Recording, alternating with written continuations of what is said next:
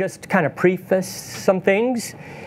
I'm, I try to make these things, this is the third time I've been here, so I try and make them build on top of one another. So if you really want a good foundation in lighting, exposure, color, and things, start at the first one. The second one is more location, event lighting. And now this third one is doing portraits, headshots on location. Uh, the tool of choice that I always love to use are speed lights. And it's not that I don't use strobes, it's not that I don't use continuous light. Light is light. So I just like to use speed lights because everything I do is on location or destination, and I could travel with more lights versus more light, to quote a friend of mine, uh, Stephen Eastwood. Meaning, I travel with at minimum five speed lights, and I could do more with that versus if I had to come in here and the strobes I use are Profoto B1s, you know how much gear I would have to have five B1s with me, right? It's, it's a lot to lug around. So I don't have an assistant. I go on location with my production manager. It's been shipped all over the world. So I could hit the ground and all this stuff fits in my bag and I could create beautiful light anywhere. But again, it's the right tool for the right job. So if I'm shooting, uh, just did a wedding Saturday night, and we had roughly two and a half hours of formal portraits. And we're going to be doing this really quickly, exchanging people in and out, in big groups, small groups. So for that, it makes sense to use the strobes. No waiting for recycle time, boom, boom, boom, can move quickly.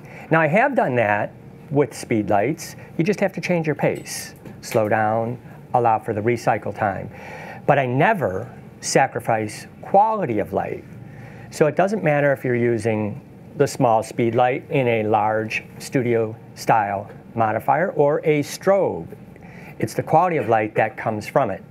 So at lighting, I use lighting to convey mood, to um, get a thought across, to just illuminate at times when we're in dark environments. And then all the different lighting tools I use shape and bring that quality of light to the subject. So that's all we're really doing. So as photographers, we can't practice our craft without light. So going back to that, that was a big learning curve for me. When I was younger, photojournalist, you don't use flash, right? It ruins it, it's not good, it's ugly, on-camera flash is terrible. So this goes way, way, way back.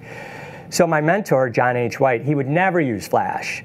So when we first started working together at the Chicago Sun-Times, we get sent out to cover this fire, and he's like, you go in close, you do this, that, and I'm gonna stay back here and I'm gonna get this overall. And it was at night. So he's thinking pictorially, he's from the background, the flames are coming out, silhouettes, he's using the light. Me, I think I'm gonna run up where the action is. So I run up, and right below the ladder, and the firemen are handing people down, and they're doing this stuff. And I was in the shadows, and I'm cranking the film, film, Tri-X film, 3200 was like insanely high. Don't go above that, right? Our lab techs. And I'm shooting, I'm shooting, I'm shooting, and you know, I got a couple usable frames, but nothing to write home about. And I said, never again will I be limited by the scene, meaning, oh, don't use a flash. I would have had a lot more usable moments and images had I had a flash. And it's an option, that's all it is. So flash, continuous light, anything, it's all just light. So at that point in time, I said, I'm gonna learn to use flash. So this is kind of the long story how I've evolved my career. So back at the Sun Times, we used to have uh, portable lighting kits you could take out, but they were huge, no battery powered. It was a 60 pound case with two heads, couple umbrellas, and it was inconvenient to walk around to press conferences and things, or corporate shoots, or anything with those lights. So I started this with Vivitars when you had to have an optical slave or a 20 foot PC sync cord, a little collapsible umbrella, and I started lighting things. Well, I started getting more assignments. Then I started freelancing and you start getting more assignments. And the reason is, is the better you light it, the better the reproduction is going to be. And that's still true today. So many situations that I'm in to photograph, that I get commissioned and hired to photograph, are dark, low light. And you need that sparkle, that kiss of light. And these tools allow me to do that anywhere, anytime. So I never again am going to fall victim to available light. So the cameras today will shoot in just about near darkness.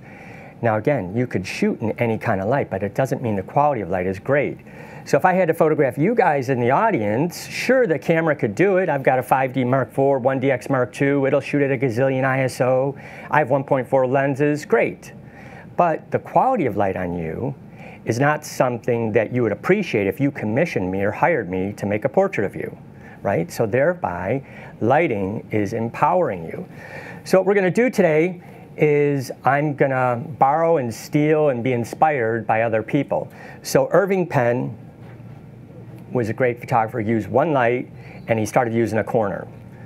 So then, I've, I've done that before in studio, used V-flats. Westcott came out with this X-Drop full-length backdrop. I thought, oh, that's cool, because now we could do a full-length body shot, because I do headshots, I do corporate work. And then um, another friend of mine, Joel, he decided to put two of them together and make a quarter on location. So I'm like, genius.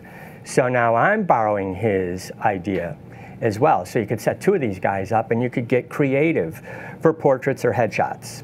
So for me, I don't have a studio. I don't have a place that I'm shooting in because everything I do is on location.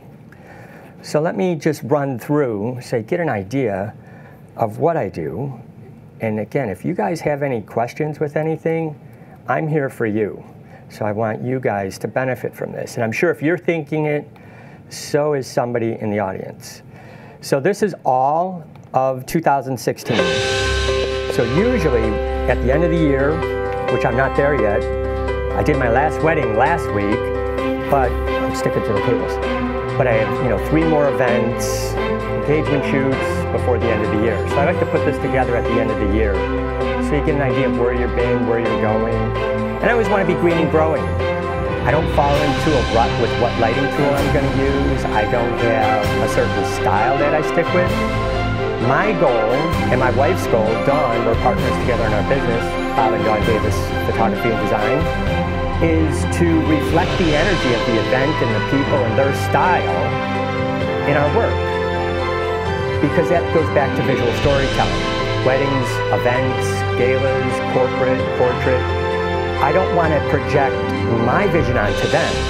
When I arrive somewhere, I let the venue, the event, the energy of the person speak to me. I'll have an idea, of course, and then I'll modify that to fit what I feel would best serve them. So it's not about I have to make this cool, edgy looking photo. It's about what are they going to appreciate? What are they going to take away? How can I serve them better?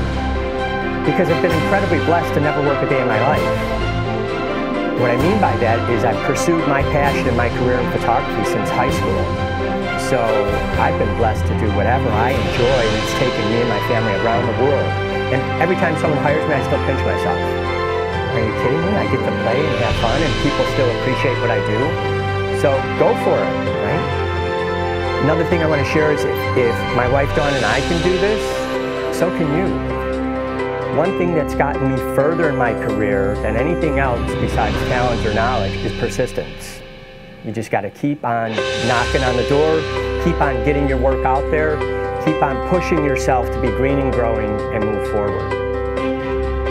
So another thing I want you to take away from just looking at this is the consistency of the quality that we strive for. Because I've worked for magazines, newspapers, I've always been edited. I have an editor that I have to serve. So your work, when you're being edited out of camera, needs to be technically proficient.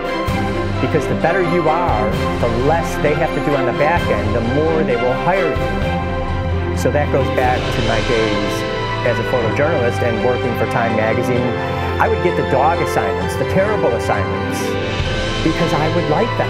I would bring the same passion and energy to those as the big assignments, right? Even with our weddings and events, the details that go by. People are on an emotional journey. Everything about a wedding is emotional, from the fork to the cuffling to the flatware, the flowers, everything. So we light, compose, and attack those with the same passion as the large cinematic portfolio shot you can get from a wedding. And that separates us. You know, I don't just phone it in, oh, that's a detail shot. No, no. So it, it's part of our brand, it's part of our style. And using light, be it flash, continuous light, daylight, window light, it's all about how you see and use that light. That could become your signature. So our images are more bright and airy, romantic, so to speak. And one of the comments that we get often from our clients, and I'll go through a few of these at a slower rate to show you and talk about some of the technical aspects, is that the images look 3D. And what I interpret from that is we work in a two-dimensional media, but to convey depth, you have to use light and shadow. Shadows are just as important as light.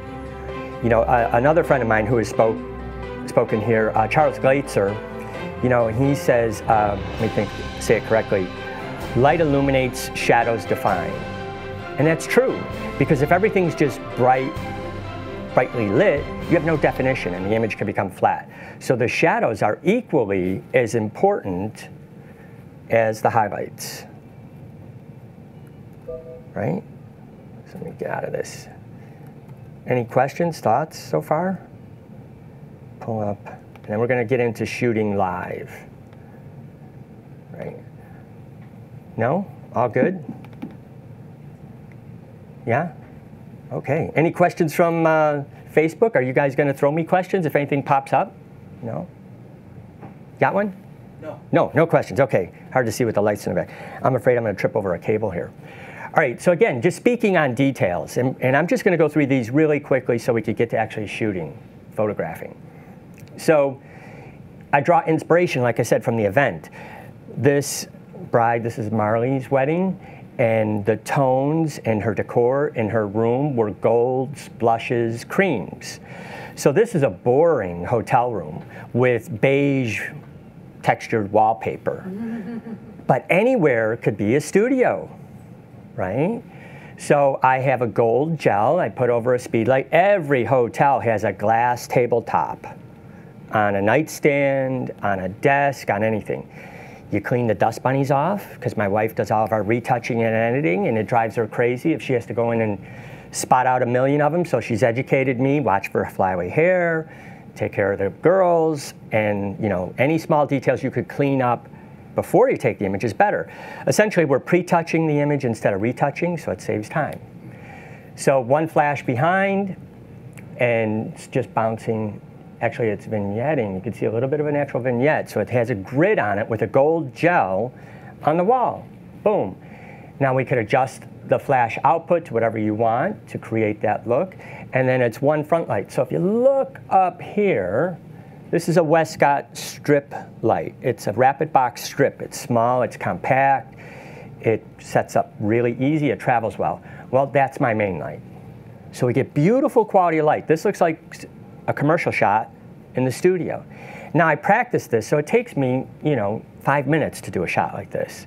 You walk in with a vision, you clean it up, tidy things up, boom, shoot, move on to the next, right? But the lighting, if you wanted to do this available light, there is no windows in this room, and then it's all overhead lighting. You could make the edge disappear by just adjusting your angle. Just get up a little bit, shallower depth of field, you know. All the metadata is there. But again, it's just bringing that quality of light to everything we do. Now, I practice and live this so I could get very proficient. I drive my family nuts. At home, I'm constantly practicing. I just got these deep umbrellas from Westcott uh, earlier this year, so I ran around and practiced on my dog, on my wife, on my kids, in my living room before I took them out on a job. Because anything that goes in this bag that I bring on location has got to serve me. So multiple purposes. So I could use these for large formals. I can use these for really cool edgy portraits. Being a deep umbrella, we could focus and change the light. And we're going to go through the benefits of that. Very cool.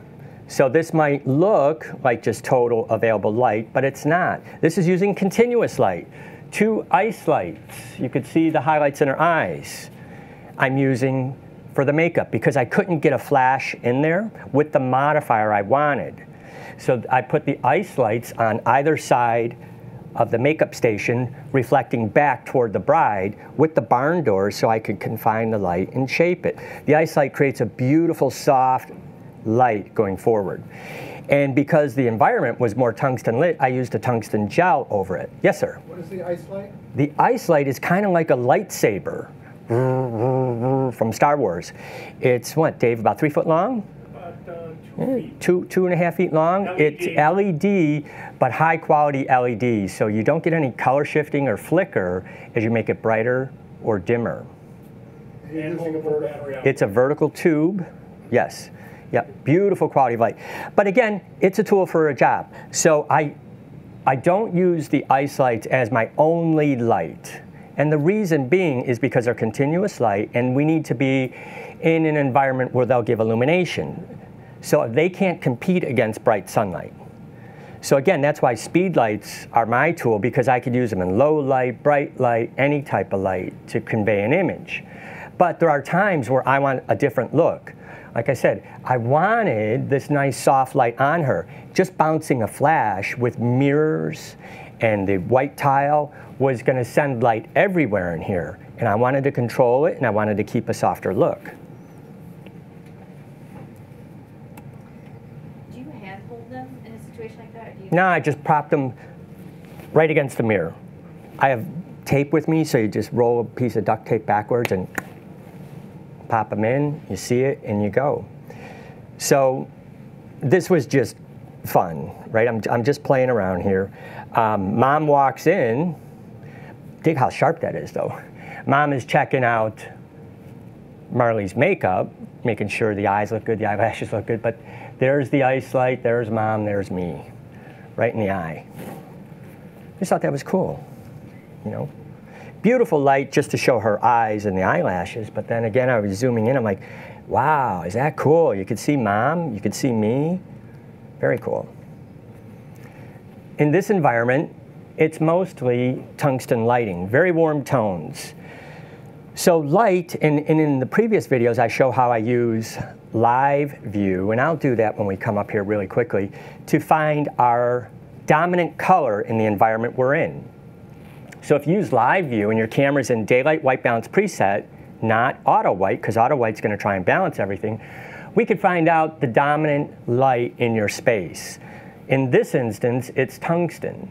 So even though sometimes they're fluorescent lights, you hit live view and you see what your RGB, the red, green, and blue values are doing, you'll know is it more blue, meaning daylight, is it more warm, meaning tungsten? Or if your green channel is moving to the right, then it's fluorescent. So we could adjust accordingly. So I balance my lights to the light in the environment because I'm going to use all the light in the environment that I'm in. So you could say I'm an available light photographer. I use all the light that's available to me, mm-hmm. right?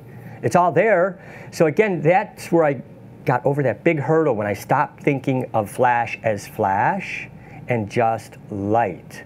So when I walk into an environment, I think of all the light available to me and what could I do to bring quality to it.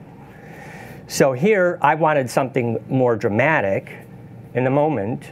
So we had a flash at the bottom of the light, at the bottom of the stairs, just direct going up to them to create a hard shadow. Now, if I didn't fill in those shadows a little bit with a light up here just bouncing in the environment, then the shadows would be very hard, very deep, very distinct. You know, so just by balancing the two, we get information in the shadow side and in here, so we don't have a very hard, deep shadow look. Now this gets like cooking. Everybody has their own flavor and own taste. There is no right way, there is no wrong way. It's a creative process. Everything that I share with you or any other presenter will share with you is just what works for them. Take their knowledge and experience and apply it to what you do and what will work for you. I like backlighting. I like it to be brighter than normal, and some people are like, oh, your, your backlight's too bright. I'm like, well, that's your opinion. It's what I do. Color, is a big deal. It can convey mood, it can convey anything. So this was at the wedding. I brought a piece of plexiglass. We had time. Again, I get to know my couples. Being a journalist, I kind of interview them. And she's into fashion. They were into portraits. Photography was important to them. They're like, have fun. We want it. We have time. I want to do some concept portraits. Sure, why not? We'll try this. So you can see there's cross color going on here. I'm going to throw up a slide at the end of this to where you could download uh, a free guide from, from Dawn and I on how to do cross color lighting. So, and we're going to demonstrate it here live. So our main light is tungsten white balanced. So hence the flesh tones are nice. The second light, which was in the strip box, is daylight. But because I'm photographing in tungsten white balance preset, it's going to render blue. So you could use that to convey a mood, a feeling, a style, or a design, right? Then it's all just matched. Again, just having fun with it. Mm -hmm. But these are all quick. I can't turn their day into a photo shoot. You know, you have to go there, you have to be ready, you have to be prepared, and you have to get it done quickly. Uh, this is going back to the ice light because it gives um, flash to me is a great tool, but sometimes it's cold, it's snappy, it's sharp. And I don't know any other way to articulate it other than sometimes continuous light feels soft and romantic. Maybe I equate that to old black and white films and movies and Hollywood because those are all continuous light. Where flash, it's a great tool, but at times it's just very hard-edged, snappy, really sharp, right? And I'm not referring to the sharpness of the lens. Um, this is a large room, an environment. And I spoke about this in my last presentation here about lighting in big event spaces using a technique I developed called the triangle of light.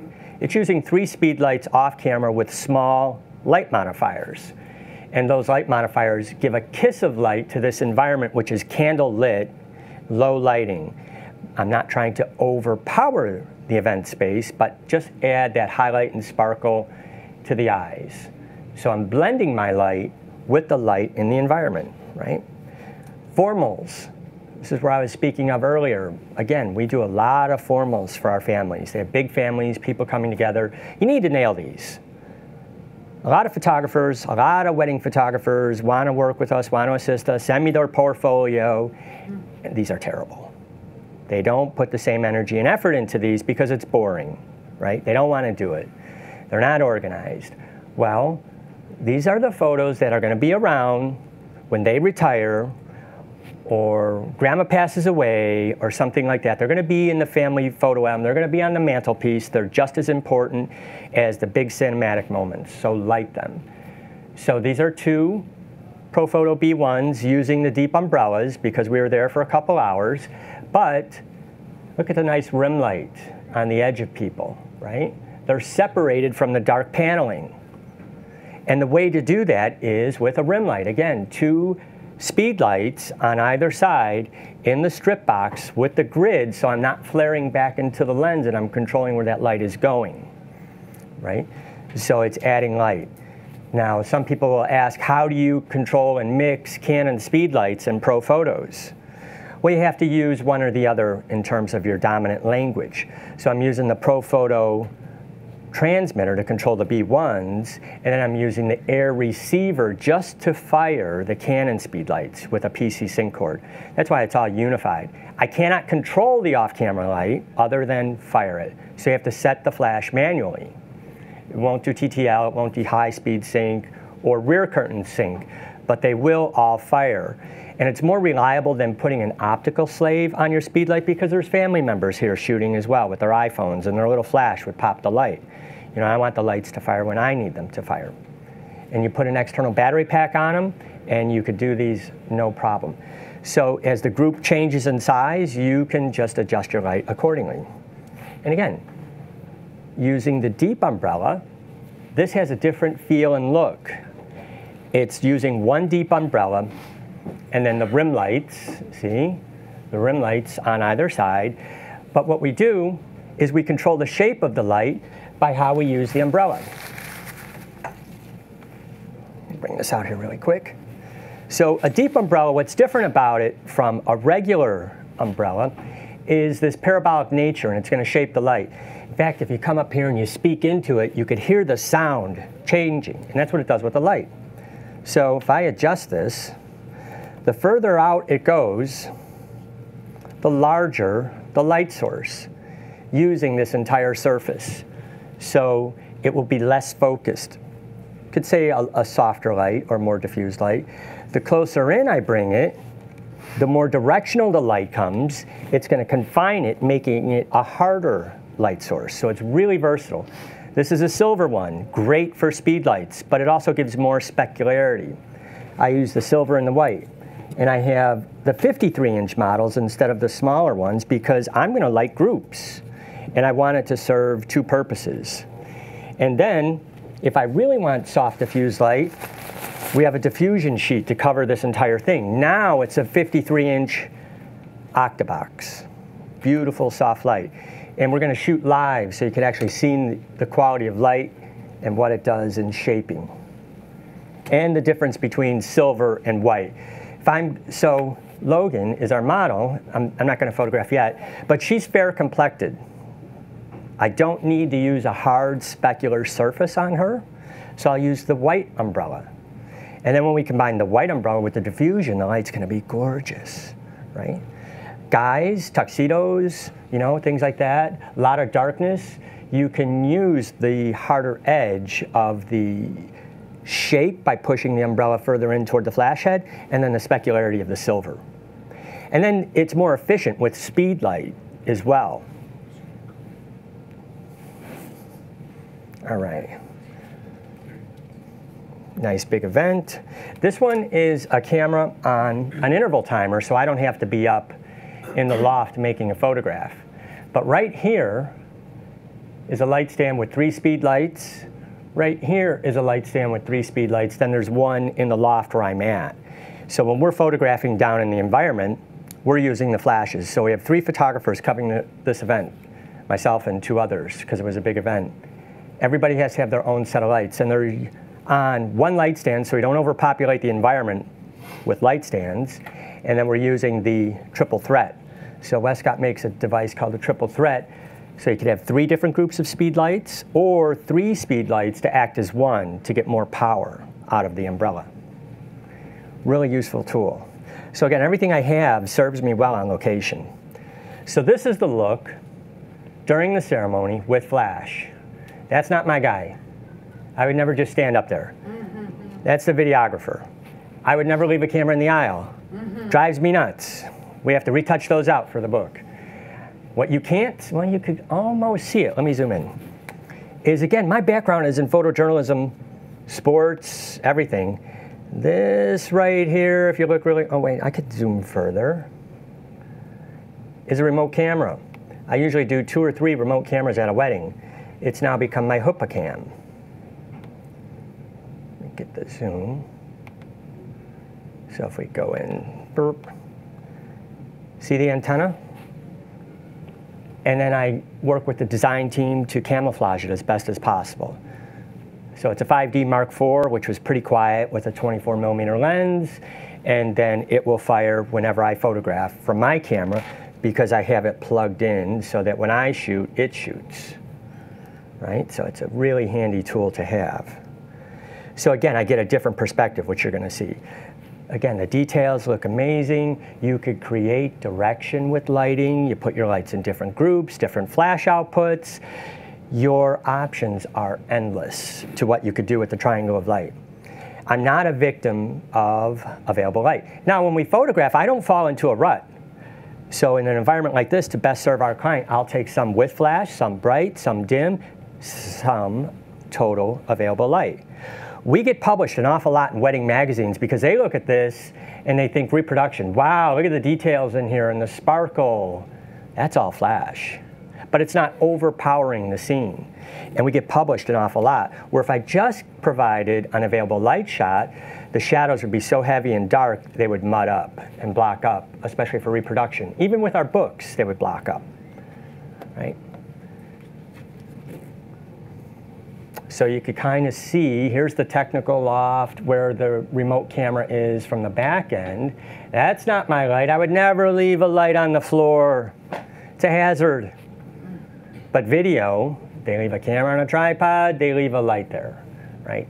My light is about 75, 80 feet back there in the loft. Small light. Now you might say, why not use umbrellas in here? Well, if we use a big umbrella, that's a big bright thing going off in a candlelit situation, which would be distracting, and mom and dad would have my hide, right? Because all of a sudden it's a woof of light. And we don't want to detract from the environment. But you could see all the directionality. Now, no on-camera flash here, just a light left, a light right, and a light behind them. And because it's all wireless, radio controlled with the Canon speedlight system, I can adjust the power. I could trade between manual, TTL, main light, fill light. It's infinitely adjustable. So here you can see the shadows coming forward. So where's the main light? Correct. Yes? So are those three speed lights, are they bare heads or are they modified? The three speed lights are not bare heads. They have a MagMod diffusion dome on it, uh, diffusion sphere, because that way the light doesn't have to be perfectly aimed at the center of the room. The sphere, as soon as it grabs light, it diffuses it and sends it out to the sides. And, we're not, and again, it's just to give accent. It's not to overpower.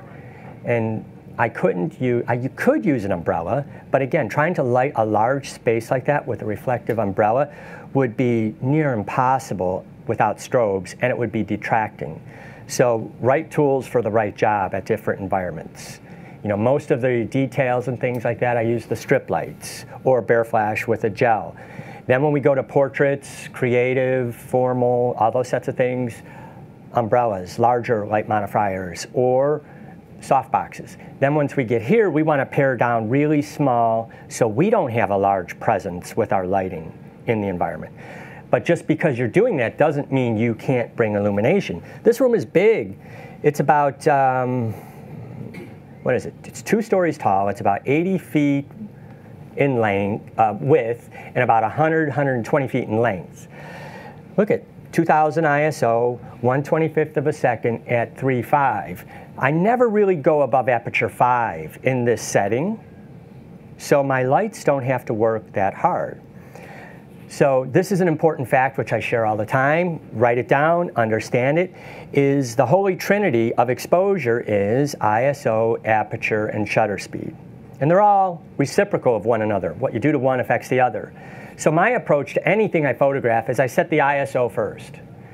The ISO determines how sensitive the camera is to light, right? Okay, so I want to pick up ambient light. My lighting is not equal to ambient light because then it would be flat. We want to create depth and dimension. This photograph to me has depth, it has dimension, it has light, it has shadow. So I underexpose the ambient light by about a stop and a half to two stops. I pick my aperture after I pick ISO because that's how hard the speed lights are going to have to work. It's a little speed light. It could do a lot once you understand what its limitations are, what it will do. So by picking 2,000th of a second, 2,000 ISO, that gets me to a shutter speed that I'm comfortable hand holding. My aperture is 3.5. That's the light output my flashes, the speed lights have to give me. Now shutter speed, because I'm in manual mode, adjust how much ambient light is affecting the scene. Slower shutter speed, more ambient light. Faster shutter speed, less ambient light. So you arrive at that sweet spot for a look that you like so you can create depth and dimension. Right? And I approach everything I photograph that way, whether it's inside, outside, or not. Yes, ma'am. So I see your shadows are falling Yes. on. However, there seems to be quite a lot of brightness on the bottom half of her dress. What light is that? So you guys are the band, right? That's the whole room. There's a speed light at the, at the edge of the band on each side. So those lights are illuminating the edge on her. Now we are picking up some of the video light for sure at 2000 ISO at 125th of a second. So that's kicking a lot more light. You can see, and a, of course a white dress picks up more light, but it's brighter on this side. More of that's coming from his video light as well.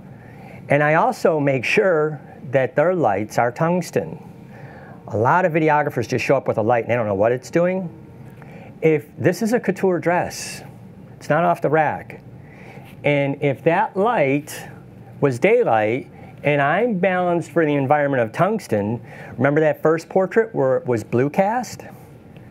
This is not a time to be creative and throwing a blue cast on her beautiful dress, right? So I do carry extra gel with me, or now their lights, they can actually dial in the color temperature. So we'll talk ahead of time. We'll play nice together. at least these, these video guys, they are great. They do a great job, and at least they light. They're at a different limitation than I am with a light panel because it's not directional, it will not carry. They're just trying to provide illumination. I'm actually trying to convey a mood and shape. Yes? Are you shooting TTL? Yes. Question Am I shooting TTL? Yes and no. Because the system will do whatever I want it to do, if I'm photographing towards a light, and if I move a little bit left, a little bit light, right, and I catch too much of that speed light in TTL, the camera and the flash are going to communicate and say, too bright, too bright, and it's going to quench the flash output of all my lights. So in order to avoid that for consistency, that backlight, half power manual at that distance. These lights are TTL, but then I could adjust them through exposure compensation on each individual light, up or down. Well, because we want them even on the sides, they're both probably like minus two in flash exposure compensation. So it gives you choices and options. Just dragging the shutter, I wish that the Canon Speedlight system would allow you to do true off-camera rear curtain sync. The Profoto system does. So what we do with rear curtain sync, this almost achieves it, is you're shooting, photographing at a slow shutter speed to convey motion. I want the couple, when they look at this image, yeah, I can hear the music, I'm dancing, I can feel it. It puts them back in that moment versus just a frozen shot. And again, I do both. So you can see my flash is firing. It's in manual mode, so it does not quench the system. The on camera, because I'm literally this close with the 16 to 35, is in TTL for fill. And the other two off cameras are in manual as well. So I'm just shooting at a slow shutter speed and turning the camera. And the reason I turn instead of panning is because this is not true rear curtain sync. So the way sync works really quickly is normal sync is capping, let's call it a 250th of a second, where a camera and a flash sync up. What that means is as the flash fires, it can properly illuminate the entire image, top to bottom. These are focal plane shutters, so it opens up in a sliver and it goes across and closes. You go above 250th of a second, speed lights just won't work. They keep the shutter speed at 250th of a second. But if it's a strobe, you'll start getting a black bar. That's because the shutter is traveling faster than the flash could illuminate. High speed sync is the flash is actually pulsating multiple flashes to keep up with how fast the shutter speed is going. Rear curtain sync is the opposite. You expose, you expose, you expose, the flash fires at the conclusion of exposure. So if you're panning, you get a nice, solid, frozen image of your subject without streaks going across them. They go away from them. But in dragging the shutter, it's still going to fire on the first curtain. So that's why I'm twisting, not panning. So as I twist the camera, the streaks don't go across the subject. There's my highlights. Flash fired in the beginning, and this is just burning in with a longer exposure. So it gives you a creative option. But again, it's just understanding and knowing your tools. To me, this feels very natural and wonderful. You couldn't get this look with one on-camera director bounce or no flash at all.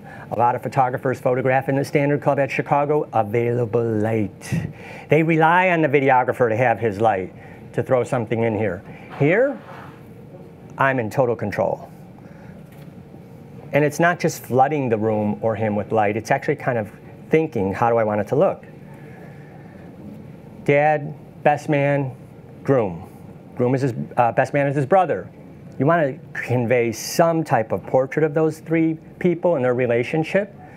So, how many lights are in this? Anybody? Three. Three what? Three, three flashes? Three flashes? Yeah, no, it's a, it's a good it's a good guess. It's actually two flashes, but it is three lights.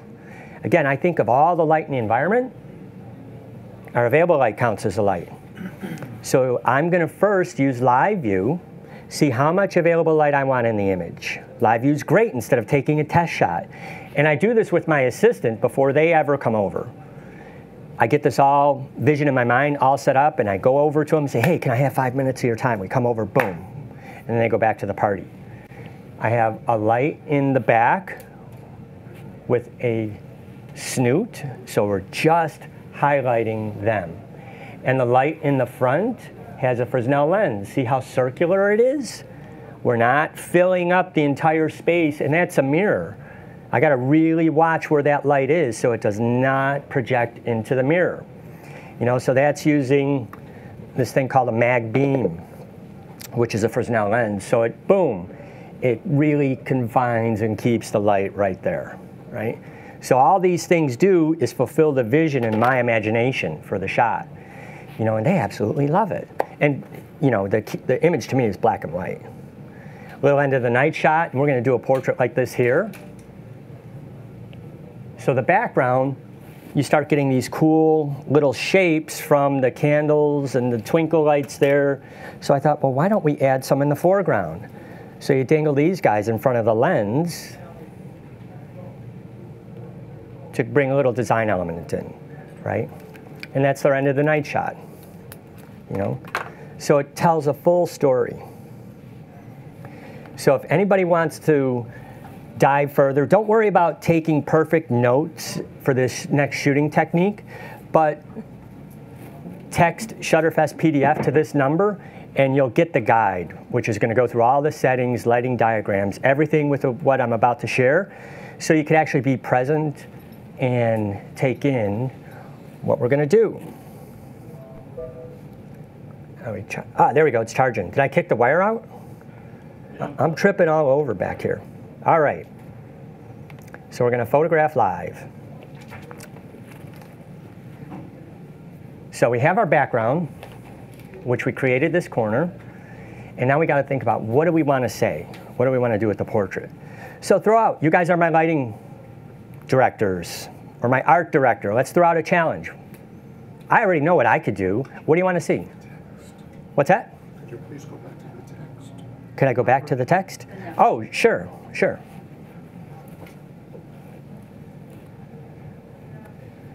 There we go. Just want to make sure I stay on time. Yeah, good. All right.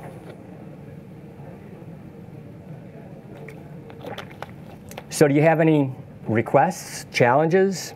Sure. Because Fine art portrait um, conveying sadness. Fine art portrait Conveying sadness. conveying what? Sadness. Sadness. Logan, that's you. I could light really sad, but now you got to bring that, right? Okay. All right. Um, why don't you pull up the chair? We'll start with that.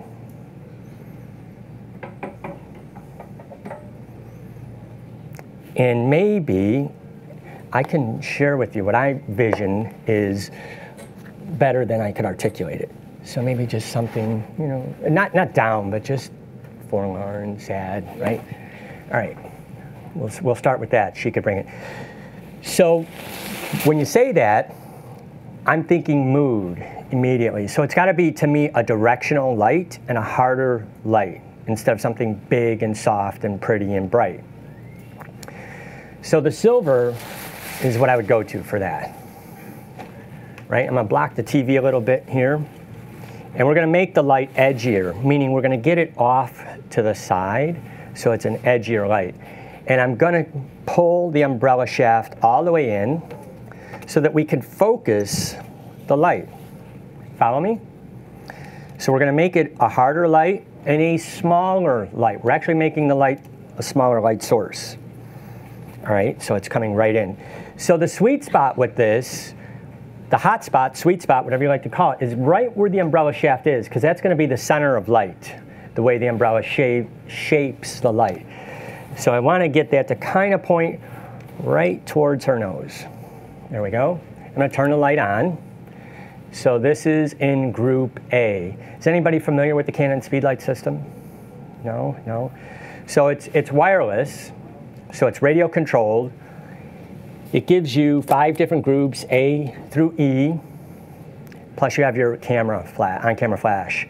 There is nothing that's designated a master, meaning a group called master. So if this light is A, your on-camera flash is always the master, which is always in group A. You can't change that. So oftentimes photographers get confused by that because like, oh, this is A, and I turn A off, it turned that off, or I powered A brighter, why am I getting no separation? Well, that's because if this is in A, you need to make this one in B. So I'm going to stay light and small. So I'm going to use, let me see, I'm going to grab uh, an 85. I have the new 8514. I just got it yesterday. Really excited. Okay, so we're going to turn it on, let it catch up with CamRanger so we could send the photos wirelessly live. And I'm just going to pick an ISO, right? We don't need to be relatively high. They are small speed lights. I want them to recycle quickly, so I'm going to start off at 320. So the camera's up, CamRanger is on. I'm going to reconnect it. Make sure I've chosen my network. Yep, it's there. There we go. So now the camera's connected. Okay, so here we could go to live view. So just to see what our ambient light is, I'm going to choose daylight white balance preset. And we're going to see what the ambient light is doing. So I could come over here and let you see the live view as well. So this is the histogram. That's the same information you're going to see in post-production in any of your image editing software.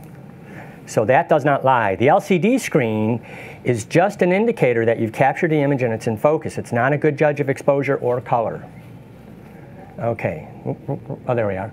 So it's really dark. There's still some ambient light in the shot that's affecting it, especially if I go, let me um, go wide open. So we're going to come over here and we're going to change the aperture to 1.4. Boom, we get a lot more light, right? So let me kind of steady up. Oh, cool, right? So you can see we're getting light. But that, again, is not good light or it won't convey sadness. Okay, so I don't want any ambient light, so we're going to start off one of two ways. Does anybody remember what I said in the beginning? ISO is how sensitive the camera is to light. If I want to photograph at 1.4, well, what am I going to have to do? Drop.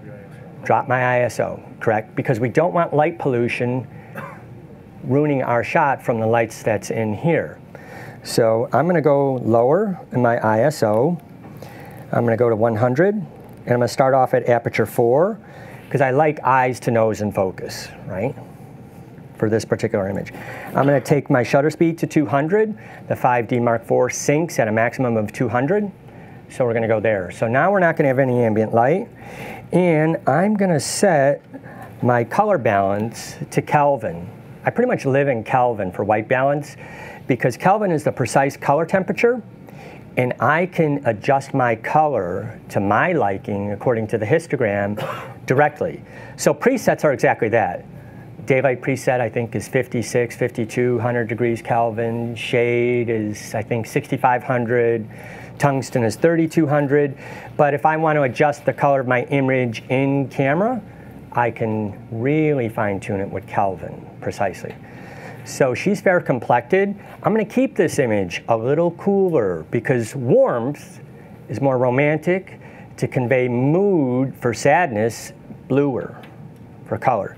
So I'm just going to go to my Kelvin color temperature and I'm going to start off, let's start off at 4500. That's below daylight. So our speed lights, our flashes, are daylight white balanced. All right. So the image is going to be cooler. I'm going to use a speed light transmitter because I like to be light and small, okay? So I put the speed light transmitter on, and this controls all five groups. Group A, that's my main light. So I, I have to think literally, so my main light is going to be in group A. 100, aperture 4, 200th of a second, it's in TTL. Okay, the only light that's going to fire is the main light. We have a hair light back here, and that's in group E, but we're not going to use that. Not yet. All right, so let's see. So can you just kind of glance toward that light a little? There you go. A little bit sad, but yeah, bring your eyes to the light. There you go. All right. Okay. So I think for it to be a little bit sadder, we can go black and white, right? Exposure's right on for me. Now the way I would judge this, again, is not by the image, but by this information. So see, it's blue. The channel going to the right tells you you have the most color. So if it's green, your image is going to be green. If it's warm tone, it's going to be red. Since it's cool, it is blue. Okay? All right. Yes. Would you drop your Kelvin down to maybe like 2600? Could I? Yeah. It'll even bluer. Yeah. So we'll go 26. All right. And let's turn your face all the way that way. Looking right directly toward the light. A little bit more. There we go. So if I push the depth of field preview button on the camera, we're going to get a modeling light. And I can see where that light is. There we go. Nice. All right. So now I put the focus mark right on her eye and we make an exposure. Very blue. Really blue. Lots of blue. This gives you great control in camera to bring up an image, right? Now here's where I could decide, do I want to be manual for frame to frame consistency? Because if I change the composition, I get more black in the frame, and again, maybe just look right toward the light, in a larger environment, well, our exposure is going to change. The white value, right? It's going to change a little bit. If we want frame to frame consistency on the back end, if you're doing portraits, you might want to think about going manual so the light output does not change. The way TTL works is it emits a pre-flash, reflects off the subject, light goes through the lens, and the camera says either more light or less light for flash output. So I'm going to stay in TTL for now, and I'm just going to lower the flash output. So I go to flash exposure compensation, and we'll take it down minus one and a third. So it's even going to be less light. So just straight profile looking into there. And again, I put the focus mark. I do not focus and recompose into the subject. So now we're getting into a low key, moody light, which we can control all from camera, right? I think this would look fabulous in black and white. So I just go to my white balance preset. I'm sorry, my picture style preset. And I'm gonna dial in my black and white recipe. We're gonna do one more. And this time, if you don't mind, I'm just gonna get your hands in it. So bring your hands kind of up here and close your thumb and finger. And let me just fix your hair really quick.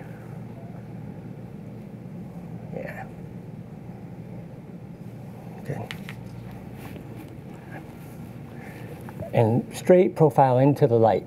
There you go. Eyes down a little bit. Turn your chin a little bit more toward the back wall, please. There you go. Thank you, Logan. Very cool. Right? I even like the way the folds are catching. You know, very moody, very cool. Right? Very cool. Now, if I want it brighter, I could just go to flash exposure compensation again, and we're gonna go plus one, okay? And I'm gonna do something to really hone in on the light. I'm gonna use flash, exposure, lock. You got a question? Do you shoot in uh, just JPEG or RAW? I shoot RAW, but we're sending the files remotely, so it's easier to send a small JPEG wirelessly to view. So it's writing a small JPEG to the SD card and a full RAW file to the CF card. I'm going to use flash exposure lock, which uses the center focus point always in the camera. And I'm going to meter off of Logan's face. So Logan, if you'll look toward the light. There we go. See that pop of light? Now I have 16 seconds. It's going to hold that exposure. And again, look toward the light. Focus. Cool. So it properly exposed her face because I told it take the flash meter reading right off her face. Pretty cool, right? So now we can change it up. All right, so we're gonna still stick with one light for a second. I'm gonna go back to color. I'm gonna zero out my settings.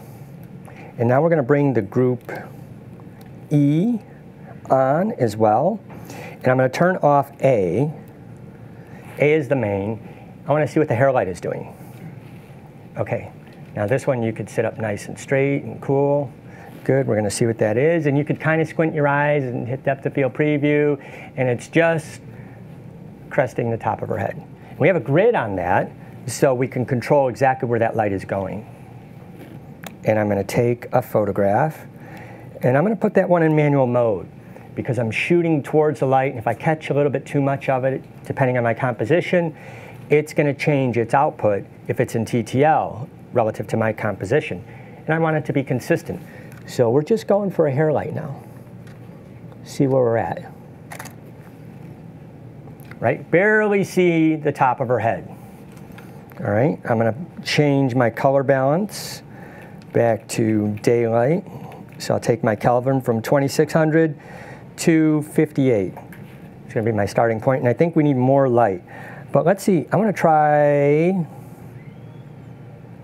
try 1.4. And I'm going to focus just on her eye. Again, I'm focusing on her eye and not recomposing. Okay, 1.4, we have a nice hair light. The red channel is not blowing out. This is a warm tone. The highlights are not blowing out. So I'm, I'm happy. And I'll show you what I mean by that. So if the flash output, we're going to put it in TTL. Go to E group and just switch it to TTL. So what's going to happen in TTL is for whatever aperture value I have, 1.4, and the given exposure, it's going to try and properly expose everything. Sometimes it nails it in a backlight, sometimes it's really bright. It depends on how much of the dark tones are in the metering pattern.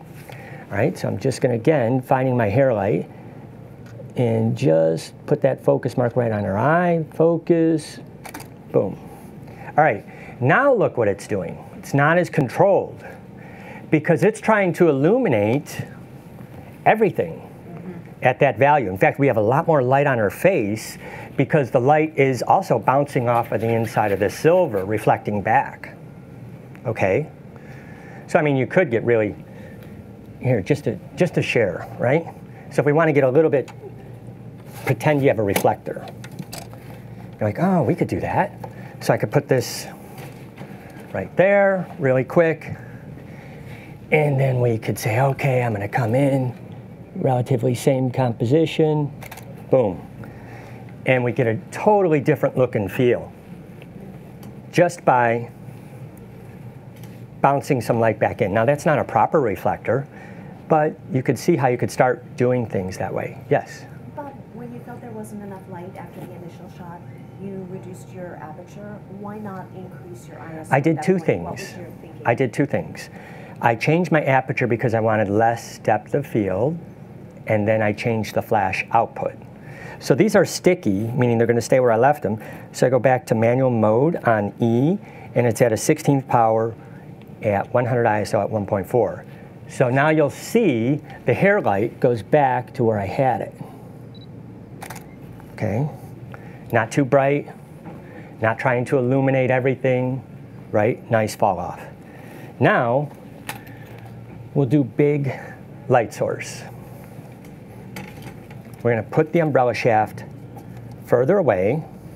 So we're increasing the size of the light source relative to the subject, right? Nice large light source. And I've set my flash head, the zoom, the Fresnel lens, manually to 20 millimeters. The reason I did that is I want to fill this entire umbrella with light. Follow me? So we're sending a shape of light into the umbrella. And you could also shape it that way from 20 to 200. So if you did 200, it's only utilizing a small space in the umbrella. We want to create a large light source now. So I'm going to use the diffusion. So see how versatile this tool can be for in your studio, location, and you can use continuous light, you could use strobe, whatever you want to put in it. It's just a tool to shape the light.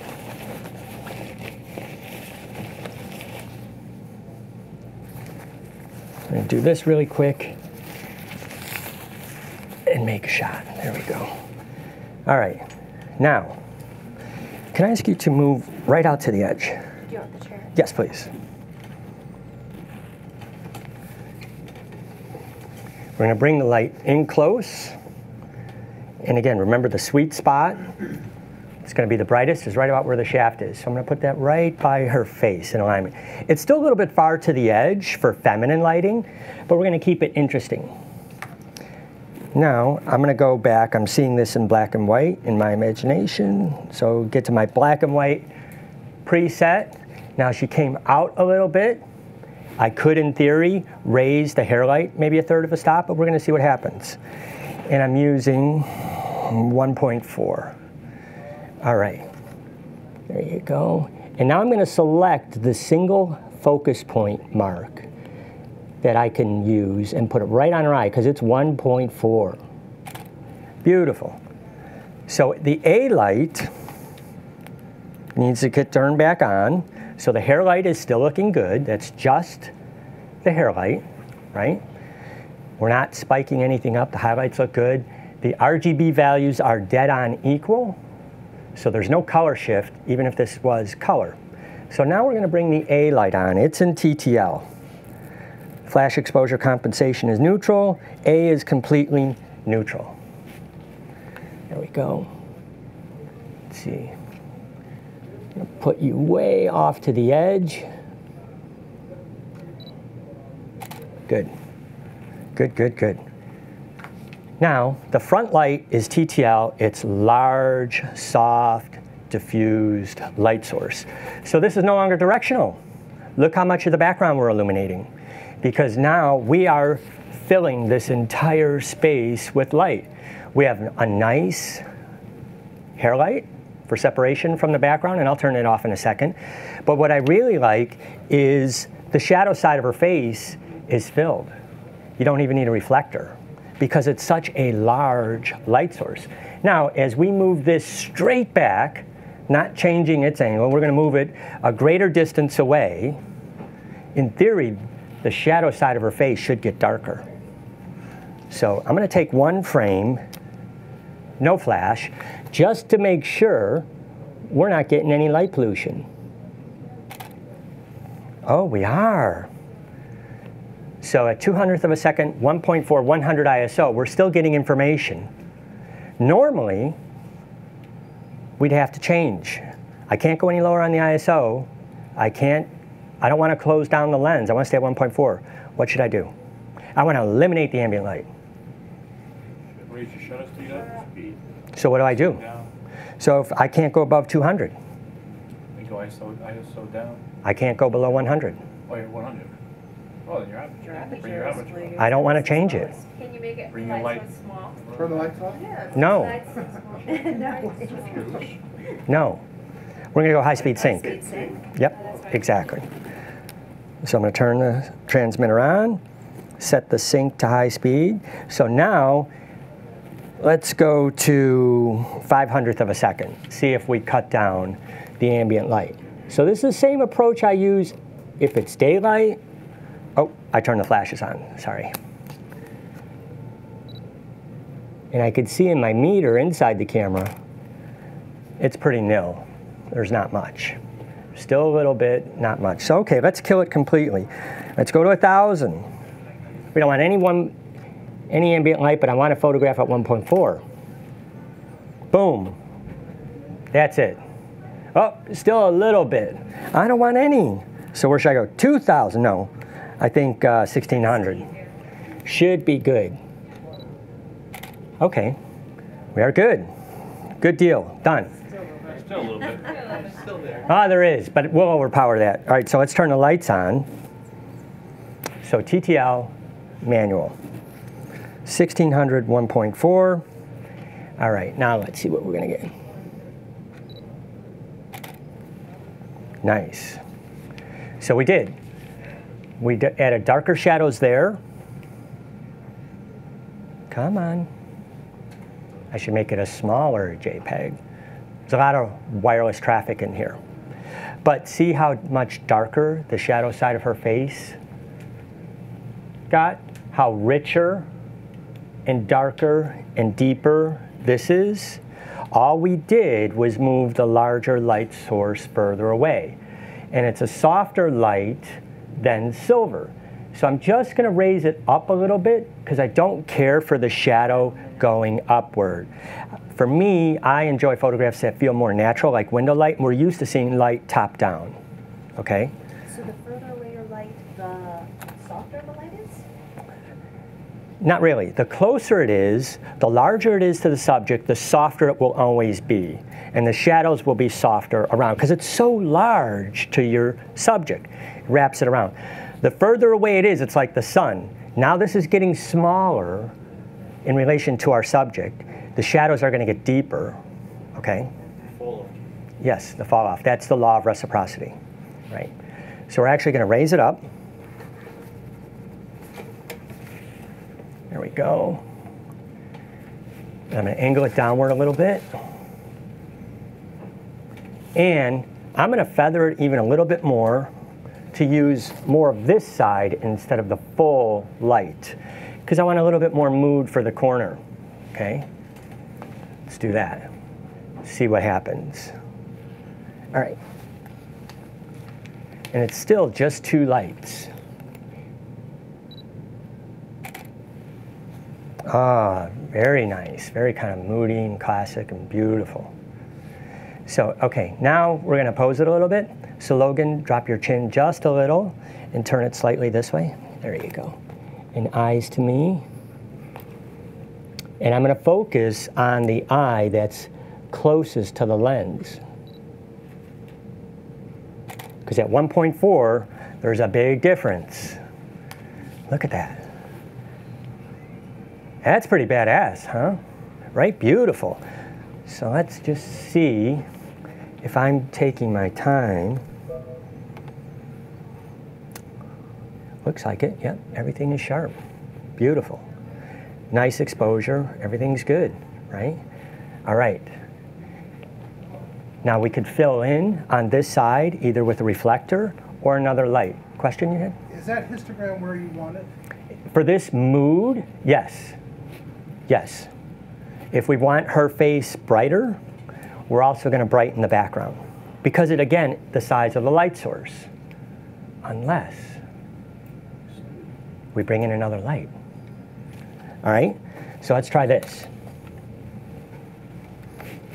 We're going to bring in a direct flash. Nice hard light. So we're going to put this in group B. Let's see where you're looking. So you're going to turn your chin a little toward me. There you go. Okay. And now we have to shape that light. So let's first, since we're talking about light shaping, use a grid, right? A grid is going to confine the light and shape it, and let's see what it's going to do. Okay, I'm going to eyeball it, cool. We'll turn everything off so we know what that one light is doing because it's not continuous light, so we don't see what's going on. Turn off the E light and the A light, and this is the B light. Make sure I have it in the proper group. We put it in B, and we're going to put it in TTL. Zero, meaning no exposure compensation. So the, the, the grid is in TTL? Yes. And we're going to go back to aperture 4, 200th of a second, because we don't need high-speed sync. Or, here, I'll take it. Sorry, one second.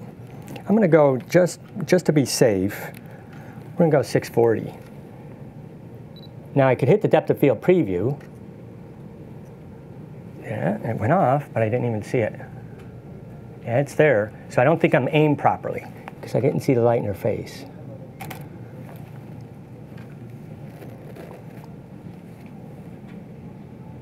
Oh, we didn't communicate.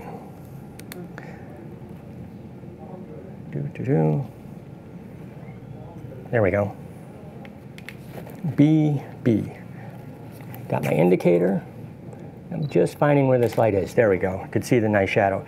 All right, so that's illuminating her face. Wait and see what the histogram says. I'm actually going to change this to small, small JPEG just for convenience.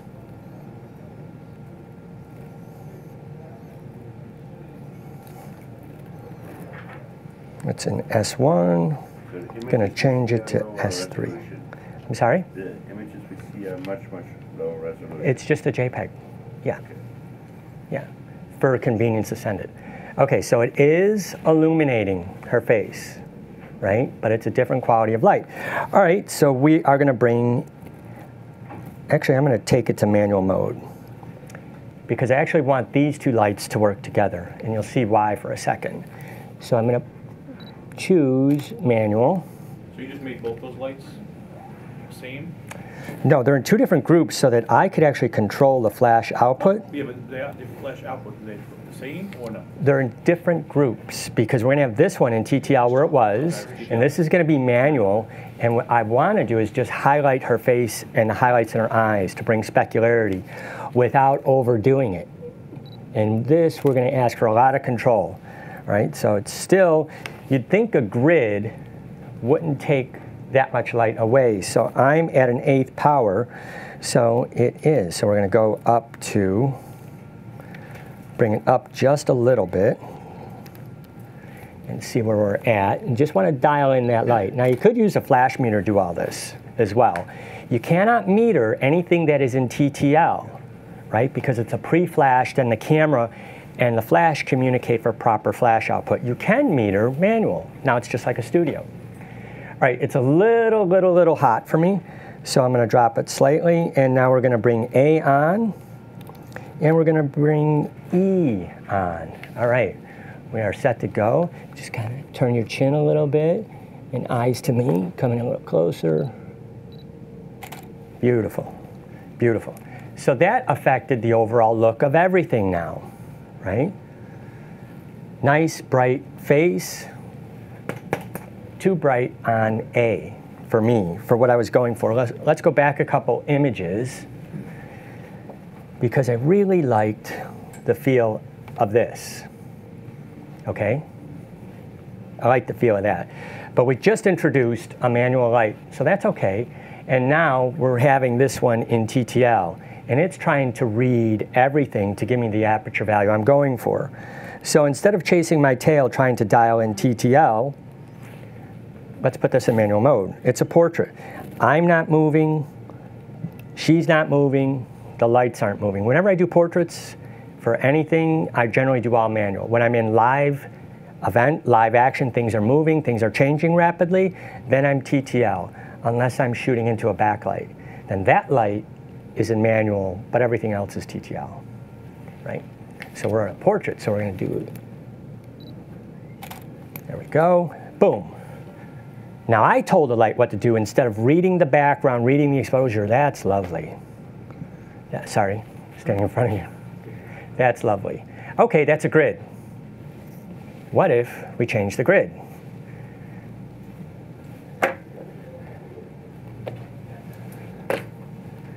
This is going to give a different quality of light.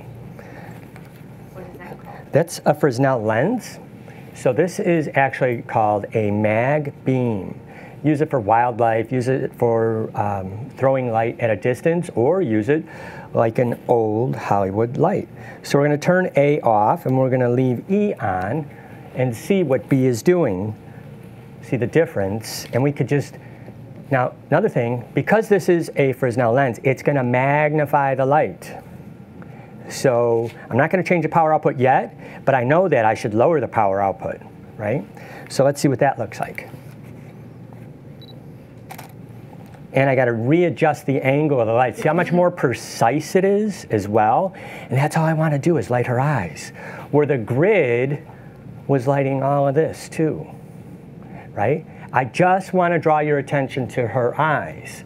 So I want to shape the light by doing that.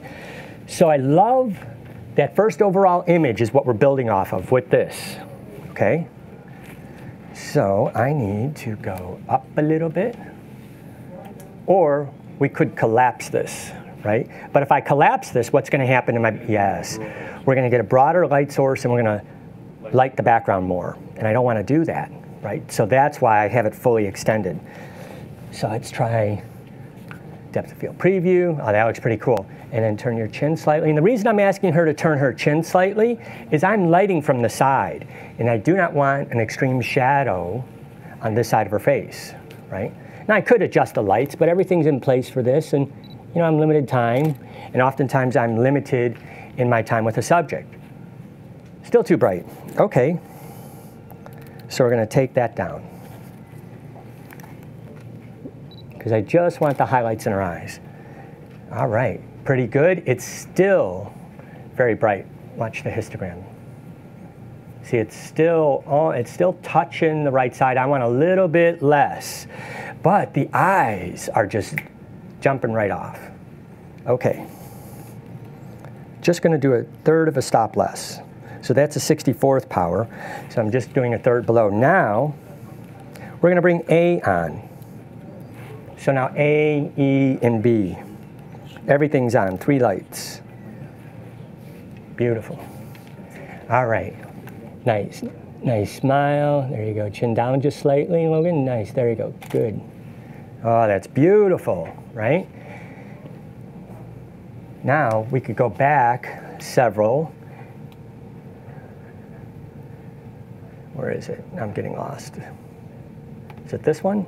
I'm going to do it in color to that feel. I still like that. I do. So I could just lower B as much as possible and see where we're at. Good. Beautiful. Now that's much better. I just dropped this so it's not as hard, right? So now we can be photographing and we just can decide, oh, okay, let's just turn B off really quickly. Let's just do something this way, beautiful. Nice. Okay, that's cool, right? Softer look. Oh, quickly I want to raise up A. So if we're working in manual mode and I don't want to dial into each group to raise it to make it brighter, I could quickly just change my ISO. All right, so I'll go from 100 to 200. That's going to make it one stop brighter. Boom. Sweet, right? Now you're just playing with the look and feel of everything you like. Okay, let's just bring the A, uh, B light back in for a second and see what it's doing. Nice, cool. Now we could say, okay, let's turn off A and just do a portrait that way. There you go, depth field preview looks great. Nice, right? So you could do boom, boom, boom, boom. Oh, the client wants to see it in color. Okay. Change your picture style. Because I'm also shooting raw, I still have all the color information. So if you shoot it in black and white, when you down upload it to your computer, it will be in color? The JPEG preview you see will still be black and white until you decide to render it. So if you're using Canon DPP, then you could choose a different picture style. If you're using Lightroom, then the minute you click on the image, it will do the raw decode and it will appear in color. So this time, extreme, give me a profile toward the light. There you go. Beautiful. Nice flesh tones, nice color, but for color, that's too much. You know, so I'll bring the A light on. And again, I'm going to focus on her eyes. Good. Nice. Then you can bring everything in. Then we could go, okay, let's see what it looked like with the A light off. I'm sorry, the B light off. And what I love about the speed lights is it gives me this versatility on location. I'm just going to change the ISO again really quick to brighten the entire scene. Cool. All right, that's really nice. Okay, so let's switch up the lens just for a couple images to get a full length. So Logan, could we lose the chair really quick?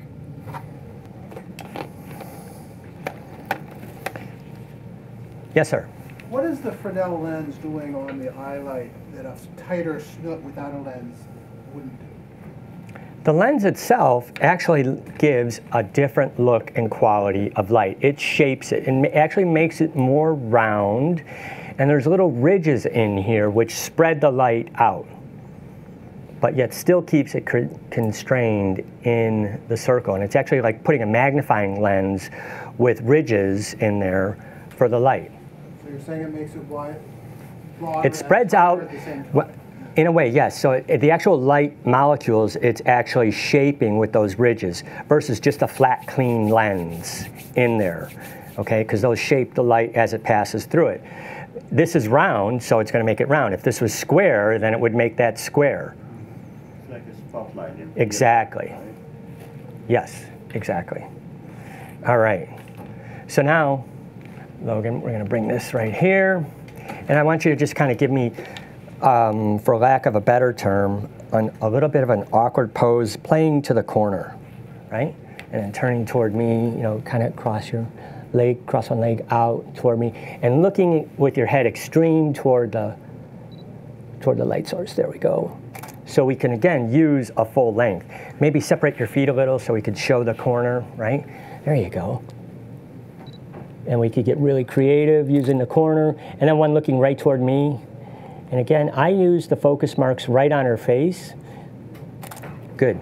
And then if we like that, so you could kind of almost lean against that corner with the one arm down like you were. Yeah, touch the wall. That's cool. You put your fingers out. No, the other hand. Nice. And looking toward the light, almost with a little bit of a surprised look. There you go. Nice. Right? So it gives you lots of versatility in what you want to do, you know? Cool. Questions, thoughts? Yes. Your light is in the way. Oh, sorry.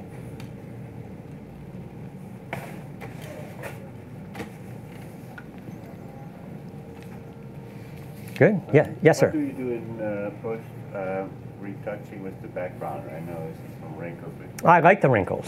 do you- I do. Yeah, I'd leave it because we want it to look kind of like a wall, you know. So no, if I didn't want the wrinkles in it, we would stretch it out a little tighter. And then yeah, again, it's like cooking. How do you want the flavor to be? Me, I like the I like the look. I even think I would like a couple more wrinkles. And I'm just feeling this in black and white. I like her black sweater. I like the gray, you know, so I would continue for me in black and white and photograph this. And let's do one other lighting change just to show the versatility of this is as much as I can. Let's see what I'm going to do. I'm going to put it right here. So again, it's a large light source. We're going all the way up. All right. And now we are going to tilt it. Hitting it, hitting the ceiling. There we go. There we go. Down. All right, we're- totally going to change the look and feel of this. All right, Logan, very cool. That's it. Beautiful. Good. So now we've totally changed the look, right? It's it's taking away the texture and folds that you were talking about because we've changed the angle of the light and where it's coming from. You know, we could go to really a whole type of Irving Penn look by taking and turning off the hair light. And he would use one large light source like this. So we could actually bring this in right here. And Logan is right there. And just kind of your arms, come right, almost center a little bit more. There you go. All right, there you go. Straight at me, beautiful. Uh, both hands outside. And if I could fix your hair. A little bit. There we go. Boom. Really cool, right? Now, let me put that back in TTL. That was in manual, so that's why it really got kind of bright. But I kind of like that look on her face, right? We have not blown out the highlights yet because we have not pushed up the right side. So it's still okay, it's just brighter. So I'm in group A, and we're gonna go TTL. And I'm just gonna bring it up plus, um, no, I wanna keep it a little moody, so I'll go minus one. So we're gonna get richer blacks. Oh, love it. Let's print it. Boom. Print it, right? I like how rich the blacks are. But look at all these different looks we could create. You know, when I used to use traditional strobe, everything in manual, then every time we make an adjustment like this, come in, remeter, it could slow down momentum. So I love the convenience of speedlights. And in many ways, all of the strobe companies now have graduated to this type of control, right from camera, wirelessly. So whether you're working in manual, TTL, or not. let me try one more like that, Logan, and then we'll see if there's any questions on uh, Facebook. I've not done this. So let's bring this in as close as possible. Not get the string in it, right? Because we can't retouch it. And as close to overhead. There we go. I'm going to switch back to the 85 because I want it more of a portrait look. And it just has a much different feel. And I'm going to photograph it at aperture 2. And we're going to put this, I have time, right? Yeah. I'm going to put this right there. And again, by having the lights as close as possible, we're diminishing the fall off. And I'm actually going to zoom this head in to 50 because we're even going to tighten up the circle of light. So when you put the MagBeam on, now this is really precise, so I've got to line that up because again, I just want to illuminate her eyes. So I'm going to turn it on, and I'm going to go TTL with that so I could get there really quickly. And I'm just going to make it minus 2. Let's get you kind of in the center of the corner, a little bit more this way. There you go. Great. See, I got misaligned it. Oh, oh, oh, I'm getting an idea. I'm getting an idea. Gumball. Too far? Good. Sorry. Could just do this. There it is, but now a little bit up, a little bit higher. And that's the way, you know, reality works for me is I don't have an assistant. Oh, still short. The closer you are to the subject, too, the more precise this is. But it's about the shape and quality of light. Oh, there we go. Oh, I didn't wait for it to recharge. When you hit the modeling light, you should wait a few seconds. There we go. Oh, sorry. She disappeared. My bad. So you got to you got to come back because when you move a little bit, you move out of the light. I think you're. There it is. Good.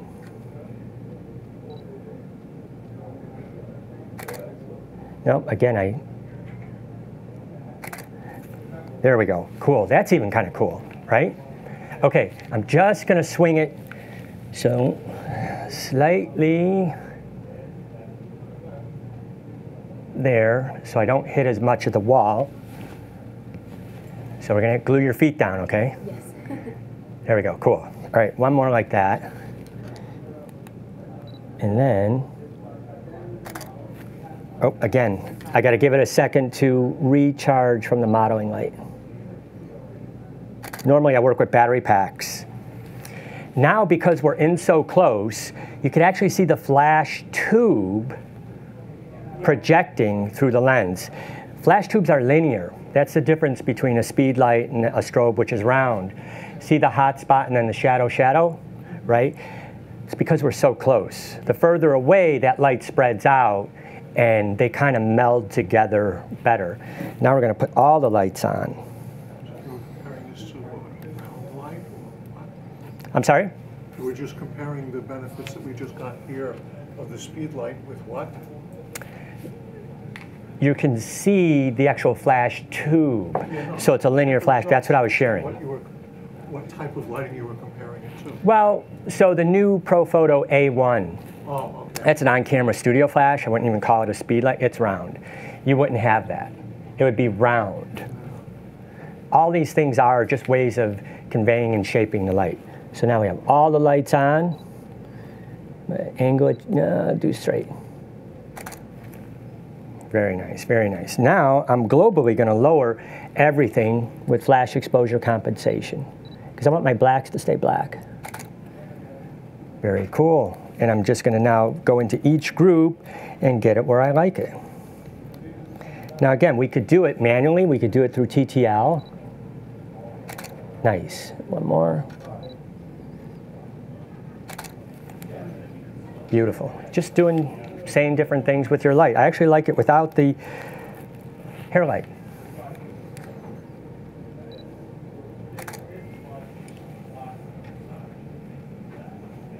A little bit more moody. right? But you have options and choices. Do we have any questions from Facebook? Anything? No? All good? Yeah? With the umbrella off to the side, you haven't been using a bounce fill. When would you use a bounce fill? If you had just a smaller umbrella? A smaller light source in relation to the subject. Mm-hmm. Because you have a big one, you don't need the bounce fill. Yeah, because it wraps around. And maybe if we had two people, well, now we'd have to be a little bit more careful what's going on. So I had the second umbrella set up, you know, just to be ready. And we could, you know, we could totally do that. That's easy. And that, that makes for easy peasy lighting, okay? We're gonna use this one. Mm-hmm. Take down the ceiling. So we're gonna do two lights really, so you'll come up right to the edge.